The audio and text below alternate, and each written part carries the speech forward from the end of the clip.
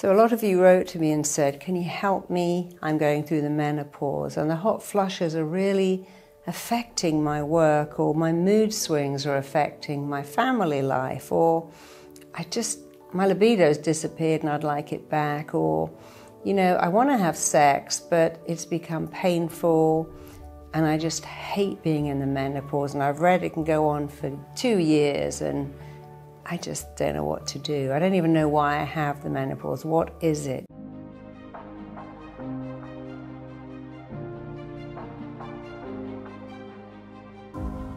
So, well, the menopause is very interesting. I've done a lot of studies on the menopause, and they all say the same thing that biologically, women had to stop being fertile at the very age their daughters became fertile. So you imagine you were living in a primitive place and women had to go and work in the fields, and so they depended on their mothers looking after their children. So nature decides that as the age your own children would be fertile, that your fertility should end so you can care for the next generation. But as that no longer happens and we live longer and longer, the whole menopause is changing. So, why we have it is kind of redundant. You could have a daughter at 20 and have your another daughter at 45 if you wanted to.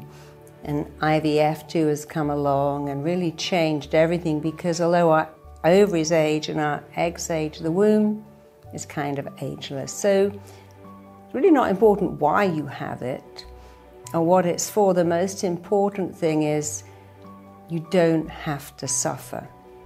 I believe that what you believe about the menopause will affect your menopause. And I meet women every week who go, My menopause was hell.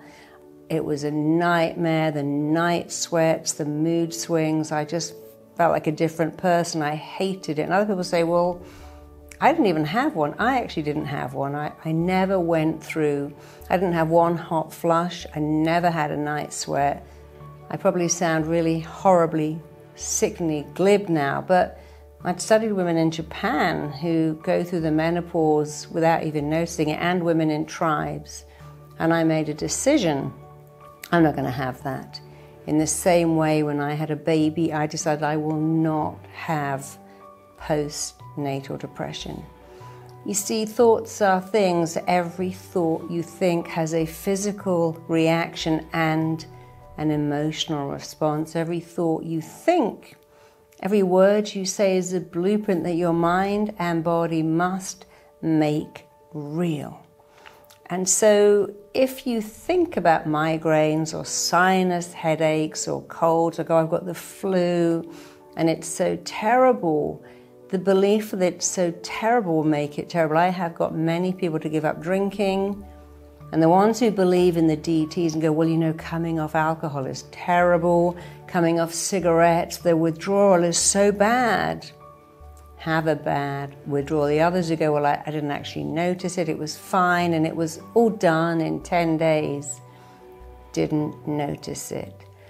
So, if you want to get through the menopause, the most important thing by far is to take a look at what you believe the menopause is. What do you personally believe it is? What kind of words do you use to talk about the menopause? Are you dreading it? Are you terrified of it? Do you think that it's out of your control? There's nothing you can do. It comes upon you, happens to you, and you're at its mercy. Or do you think, well, could I actually speed it up and go through it super fast? Could I go through it and hardly notice it? Yes, you probably can. So look at your beliefs, even write them out, write down every belief, every thought you think, and then write out the opposite. My mother had a horrible menopause, but my aunt said she didn't even notice it. My grandmother said it was terrible, but my friend's mum said that it was nothing. And what could you do? Well, there's so many things. You can take supplements. Black cohosh is famous for helping you go through the menopause, and it appears to not have any side effects. You can buy that. There are many, many supplements. There are many, many vitamins that you can take. Yoga helps you go through the menopause. Visualization techniques help you go through the menopause in the same way that visualization techniques are used in cancer hospitals and children's hospitals and fertility clinics to teach your body how to respond. You can use them to sail through the menopause so that you hardly notice it. There are breathing techniques. You can adjust your diet. Just taking out very spicy food and sugar can dramatically change hot flashes and night sweats too. Kegel exercises help. If you're suffering with dryness, don't use soap, don't use bubble bath. You don't need any of those things. If you feel that you're too dry and sex is painful, then use lubricants. There's nothing wrong with that. There's so many exciting, sexy ones that you can make part of sex. Kissing is very important. The mouth and the vagina are very linked. When the mouth is wet, the vagina is wet. I know from many, many women who give birth, and doctors say if you keep your mouth wet, it helps the vagina to stretch more. It helps with birth. So, kissing is exciting, desire, foreplay. So, if your feeling is that it's the hot flashes and the mood swings, take supplements, use visualization, use meditation, use breathing. If it's that you don't feel aroused and your libido has gone away, again, you can take supplements. Again, you can use visualization. Just playing the songs you played when you were first dating can activate that memory of being wildly in love and deeply aroused and having really a passionate desire for your partner. And it can come back, you can reactivate, remanifest, regenerate all of those feelings just by remembering. And if sex is painful, then you can use fantasy, you can use desire. Kegel exercises help a great deal.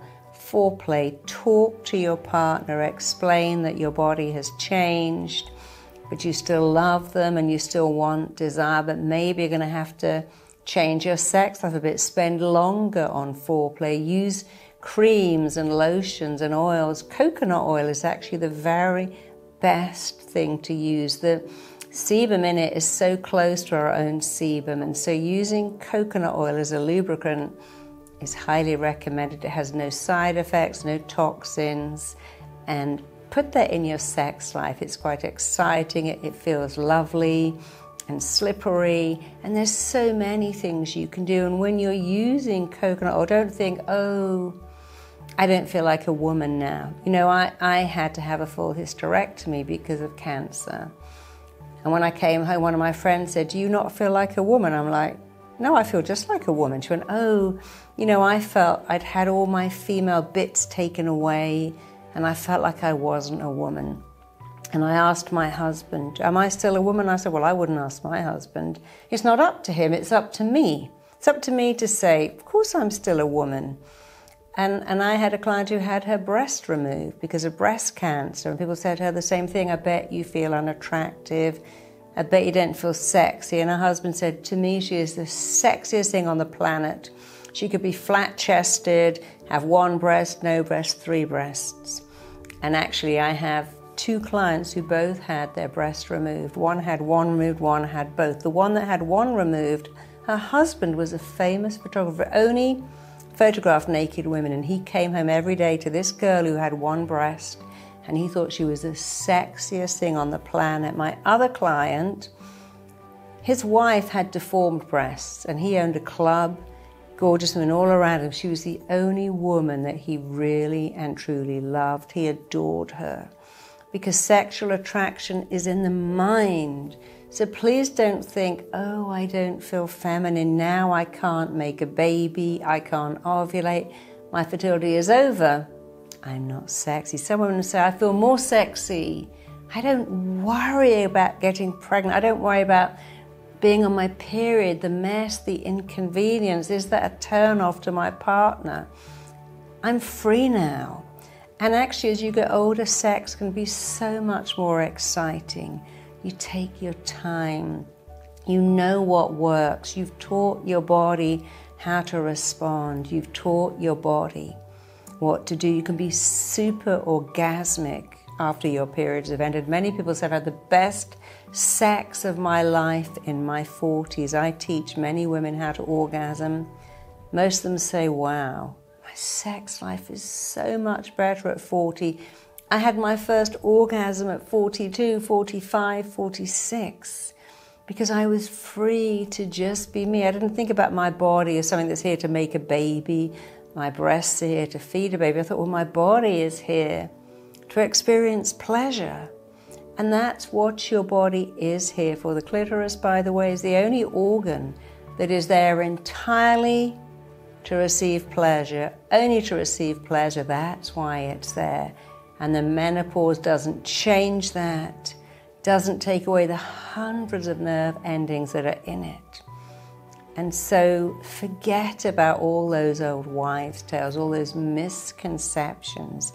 You are female, you are feminine, you can decide you're an absolute goddess with a womb, without a womb, with periods, without them, with breasts that are up here or down here.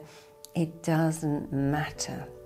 If you believe you are sexy and gorgeous and a goddess, then your partner will pick that up and reflect back what you think about you. Your sex has got nothing to do with your womb, nothing to do with your periods. And many guys say, you know, I find older women so much more sensual, so much more erotic. They're not insecure, they're not hung up about the size of their thighs, they're not worried about what they look like in bed. They understand what it is to be sensual, to take your time.